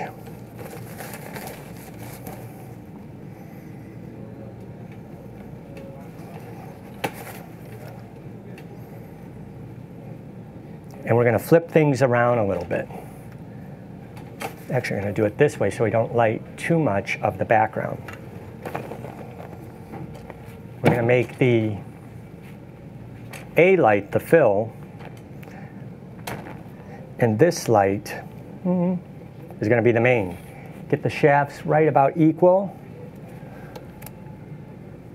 Now this is B, and I'm going to move it out so it's more of a large light source. Boom. Cool. All right. We have A and B, correct? And we're just going to start off at zero. They are both equal, and we have no hair light. So, yeah, real strong. There you go. That's beautiful. Nice. Are they both TTL? They're both TTL. They're both equal flash output. It looks too bright on the TV, but it's not. See, the highlight on the right is not spiking up. We're not losing information at all. But we can say, okay, I want more moody, so I could take flash exposure compensation down minus three. Just go big or go home, right? Awesome. There we go. Next, right? Now we could play with, do we want a main? So they're both equal. So now we could create direction. Okay, this is basically going to be our fill. We're going to go to the A light, make it minus 3. That's full power. Not full power, but no exposure compensation because we are TTL. And I'm going to go to aperture 4. Right? So if I was in manual mode, I would now have to change my flash output. Okay, really cool, low key photo. Now we could say, for printing purposes, that's really too dark. So I go back to flash exposure compensation, which is globally adjusting both of them. I have the ratio set that I like, but now I could adjust flash output for both. Sweet. What a gorgeous light, right? So we could flip flop, yes. Can't see through you. Oh, there's there, there's there. Yeah. So you're still only using this one as, as a fill with, Fill, no main. illumination. Correct. No, it's illuminating. It's firing. So watch, I'll push the preview button. They'll both light up. Call fill in, it's gonna be doing. It's just, it's hard to see it with the diffusion, right? But they're not at the same power, or they are? They are not. They are not. So the A light is at flash exposure compensation minus three. The B light is zero, so we could flip it. So we could take A as our main light, B as our fill. We might go a little bit above because the diffusion is actually cutting down flash output, but we don't have to think that way because TTL will compensate, right? So now we just flipped it opposite. So I'll toggle back and forth between the two. That's really pretty. So we really, proper lighting for me is I, I could tell a person's favorite side usually by the way they part their hair. They open up their face to that side. Statistically, most people, it's about 80, 90%, it's the left side. So this should be your main light coming from the open side, right? So I always light for women at events. So if we go back to the other frame, where the camera left light was main. It's not bad, it's just different. This is brighter on her face, and this is fill. Now, if we want to get in a, a wider ratio, we're going to have to go manual because we're at 0 minus 3. I can't tell it to go any lower in TTL. But if I want a more dramatic look, I know because I practice, like, okay, let's put B in manual mode. And we'll start off at uh, 64, 164th power.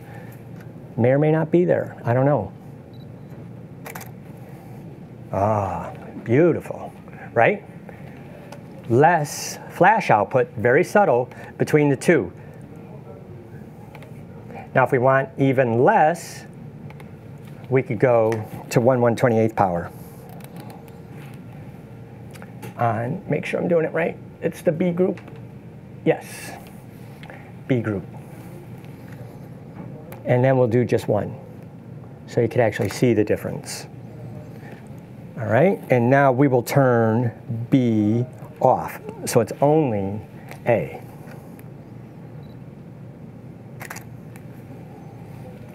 Boom, right? This is a large surface too, reflect, acting as a reflector as well. So you have options really quick. I like when the fill light on camera left is a little bit brighter because it's putting a beautiful highlight in her hair. So let me switch to color. Go back, everything's normal. Change my white, uh, my picture style. And I have my favorite picture styles set up. So in a way, it's kind of like having film again. Good, beautiful. Make it just slightly brighter.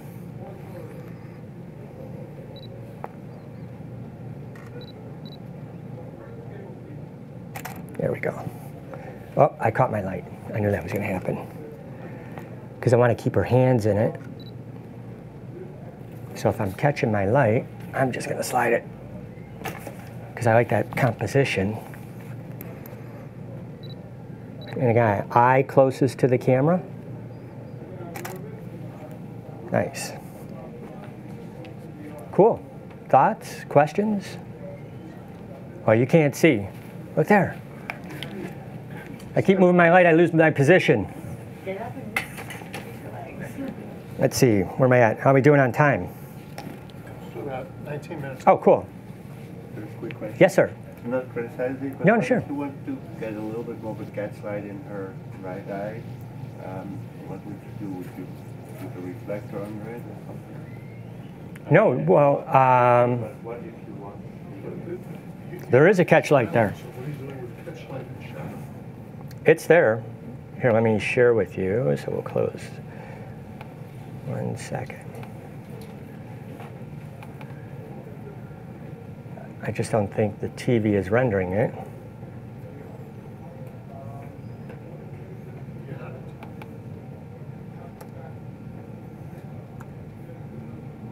Mhm. Get the zoom.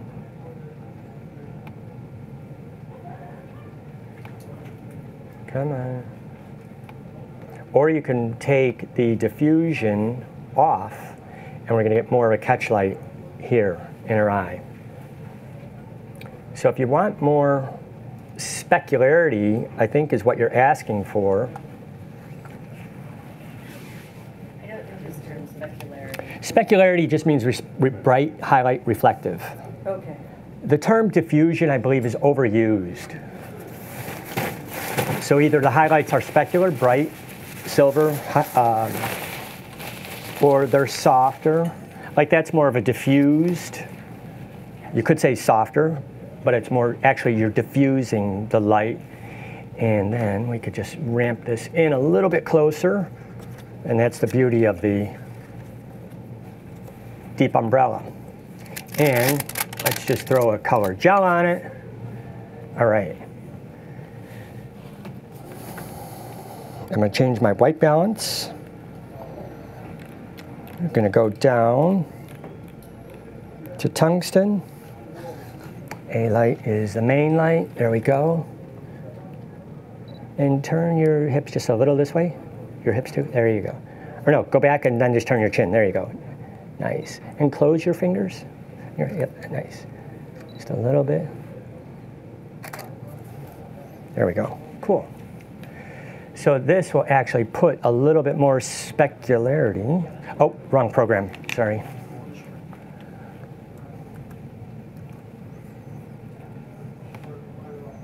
There we go.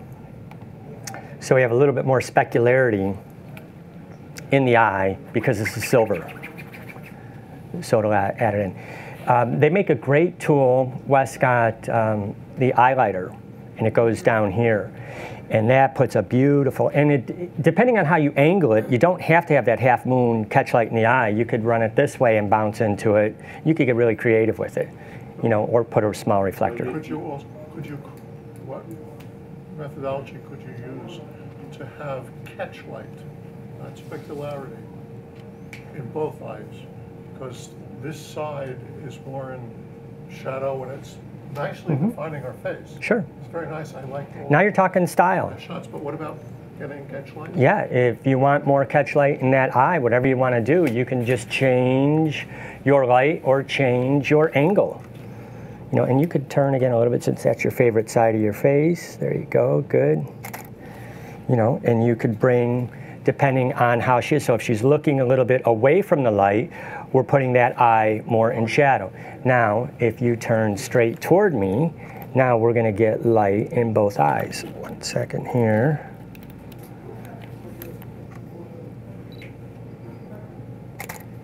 Now we're getting catch lights in both eyes. It all depends, the eye is like a window that reflects light.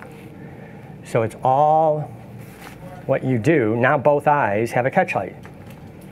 So it all depends on the style and technique and look you're trying to achieve. And here, you notice we now have gray and we have a blue cast because this is daylight. Thank you, Logan. We'll just go through for photos. This is daylight balanced. That was tungsten balanced with a tungsten gel, and I was shooting for the flesh tone in tungsten white balance on Kelvin, so 3200 degrees Kelvin. So you have tons of options and choices and things that you could do on location. Everything for me is on location. Oh, let's, I have, I have a few more minutes. Let me try one thing creative. Okay, cool. Wanted to try this. All right, Logan, I'm gonna bring you back.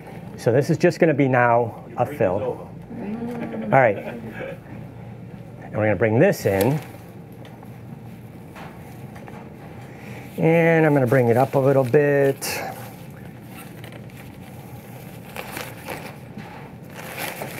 And you can come further out, like right to the edge. I Do you know the distance that you wedding? I don't. Because I actually move faster than an assistant.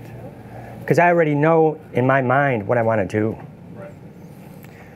I have a second shooter or a third shooter, things of that nature. And we go from there.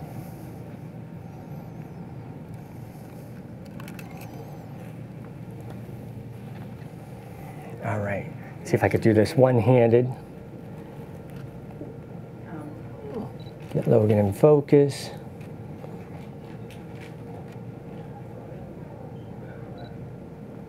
It's just to get an effect, right? The closer, oh, why did I lose contact? I must have bumped the wire.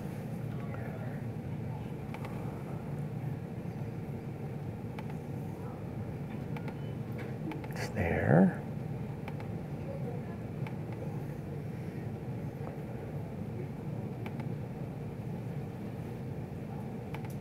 Let me just restart it, unless my, I don't think my battery's dead.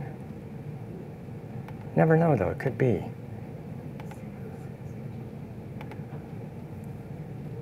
This CamRanger is connected, good.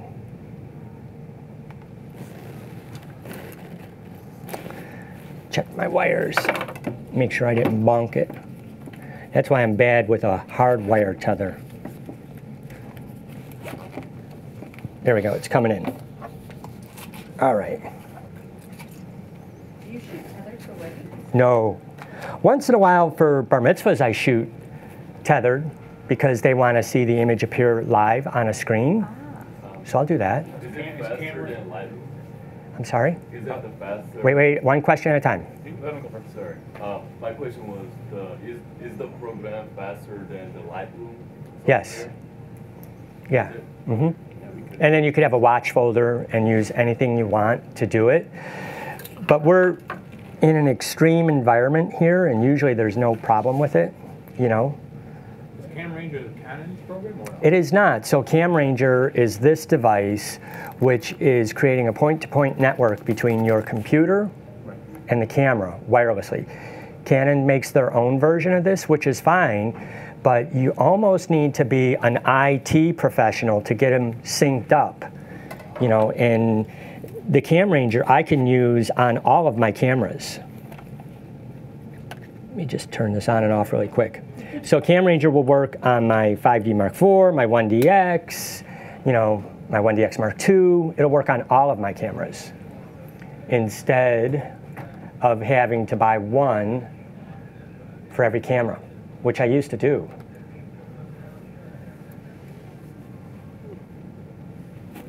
All right, boot this up. So again, a lot of times when I'm doing location portraits, engagement sessions, anything, you look for something that could bring a little bit of a creative edge to it, a lot of detail shots, things like that. I'll use the little twinkle lights you shoot through, and it just gives bokeh either in the background or the foreground, and it just becomes a framing, a framing element. Camera's on. Let's see where I'm at here.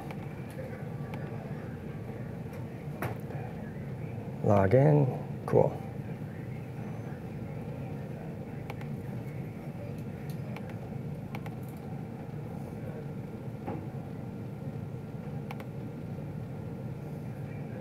There we go. Connection. All right. Yeah, it's it's just fun to do. Have it in there. It might be easier horizontally. Good. There we go. And you could have, you know, it's a framing device in, out of the frame, close to the lens. You could play with the design. Right? And then they start getting this cool bokeh effect in your field of view. So it's just a fun little, fun little thing.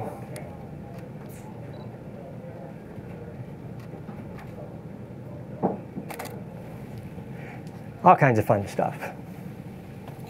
All right. Now let me do a recap. Thank you. Let's do a recap quickly. I'll put this out of the way.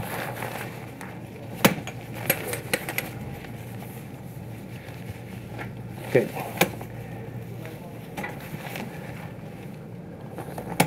So right tool for the right job. Pick your tools that you want to take on location and make it work, right? I love using the corner. I got a big corporate gig coming up where I'm going to be doing 100 people in three days, headshots. So I'll have this, and then I'll do an environment. They want two setups. I'm going to use speed lights because I only have two Profoto heads. So I could do a main light, a hair light, and a fill light for here with speed lights. I have 10 speed lights. Then for the environment, they're going to walk from here, and they're going to go here to step out into the environment, and I'll just do a two light setup there, a main and a fill. You know, this one's going to have big umbrellas. The other one's just going to have two rapid boxes. So boom, boom, you know, and then I'll switch between channels. So these will be channel 15, those will be channel 14. So I could totally do this rapidly on my own. Yes. Do you use continuous lighting? Do I use continuous lighting? You came in late. Um, could you explain what's the advantage and No, no, I, I rarely, I do use continuous lighting once in a while, but not too often because it's limited in your use depending on the amount of ambient light in the environment. So if you're having to photograph in a hotel atrium with a lot of sunlight coming in, you can't overpower it with continuous light. So flash works great for that. And speed lights work great for me because I could take more with me. Between this bag and my small think tank rolling bag, I could fit all 10 speed lights, all my grids, everything I need to do the job. And then I also use external battery packs high voltage external battery pack, the bolt packs that they have here. So rarely do I wait for to recycle after I've used the modeling light or wait for the next shot.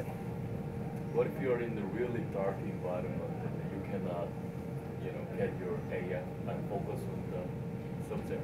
If I'm in a really dark environment, Yeah. I'll use an on-camera flash just for the focus assist beam. That way I don't need any bright lights on in the, in the space that I'm in. Thank you. Mm-hmm, sure, sure, yes. For the, the umbrella, with the big, big umbrella, sometimes you need them more than one speed light. You can. So that's why I have this thing called a triple threat. So it depends on how. So sometimes when I travel, especially to overseas, when weight starts coming into an issue for shipping, I will use only speed lights instead of carrying two Profoto B1 heads because it starts adding up weight. And I'll use three in each umbrella with two battery packs on here. And then I get very efficient use. So I'd have six in each one, and it's very efficient. And then I can move on and do more things. For uh, headshots, one, speed light's okay Yeah. for this big umbrella. Yeah, you saw I've been playing between 100 and 400 ISO. You know, if you wanted to shoot faster without a battery pack, then go to a higher ISO. So that's the reason I start off by saying I use ISO first, because that determines how sensitive the camera is to light. So if we want a faster recycle time out of these guys, raise the ISO. The cameras today are so amazing geez, I hate to say 800 is the new norm. It could be 1250 with the 5D Mark IV, 2500 all day long, no problem. No problem at all. You know, and you get increased recycle time and a larger aperture, meaning let's say you want to photograph at f8, f11 without a battery pack or with. You could go there. A lot of people said that uh, a big umbrella, speed light's not enough. It is. Well, that's why if I'm just using a single speed light, that's why I have a silver and I have a white. A single speed light in the silver, this is highly reflective, makes maximum use out of a small light. You had a question? What kind of battery pack do you use that's reliable for, for that, that long of a day? hmm I use the Bolt battery pack that they have here. They have two, the one that has two outlets on it. Okay. And the reason being is if you really want fast recycle time, they make a two into one cable. And that gives you like about one second less? Uh, it'll recycle it at full power in a second or less, but you gotta be careful because you'll overheat them. If you go too fast, too, no, sure. Nikons, they'll knock out.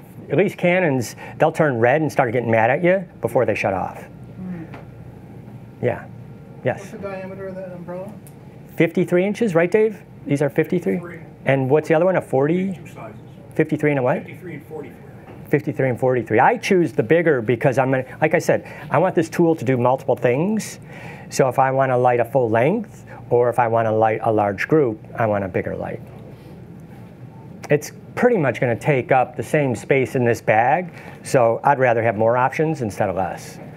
Now, again, if I start shrinking in space to a smaller bag, my other, you know, favorite kit is something called a perfect pair, where it's a shoot-through umbrella and a medium softbox. Now they're designed specifically, more specifically for speed lights. They're smaller. It's a 43 inch umbrella.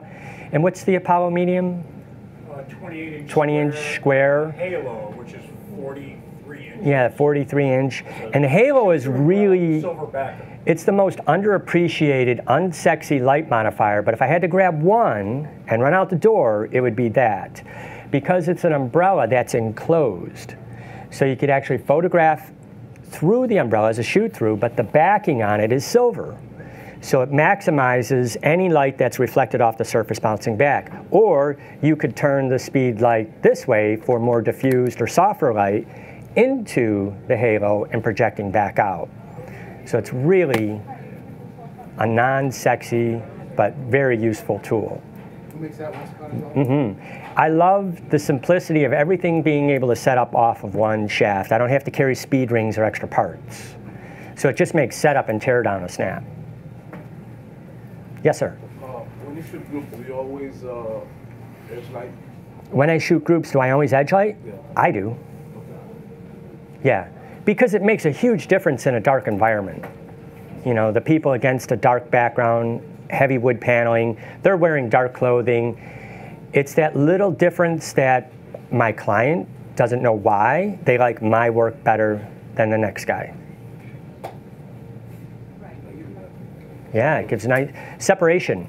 Every TV show, every movie you look at, there is a separation light. They're doing something to separate the subject. Chicago Med, you know, they do great lighting on that show. Every woman has a hair light. So you wouldn't, you wouldn't lose round, round lights, no. I'm sorry? floor lights, you floor. Floor lights? The floor lights in the environment? What's a floor light? Well, you know, lights on the floor, kind of like, you know, projecting up. Lights on the floor projecting up? Yeah. No, I would not. I don't like the, I don't care for the look. Two minutes, two minute warning. All right, let me, let me put that graphic back up here really quickly. If you want to learn more, you could go to our website, and it's bobanddawndavis.com, and there's links there for photographers, links there to see our work. If you want a guide to go through cross color, different portrait lighting techniques, lighting diagrams, settings, all that, text Shutterfest PDF to that phone number, and you'll get uh, an email with a link to the download. But other than that, what's that?